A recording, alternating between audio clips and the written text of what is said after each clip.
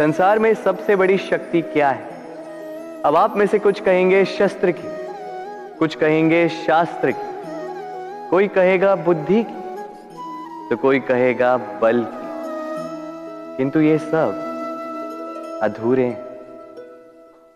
संसार में सबसे बड़ी शक्ति है मित्रता। यदि सच्ची मित्रता प्राप्त हो जाए तो वही सबसे बड़ा धन है, जब आप कठिनाइयों में होंगे।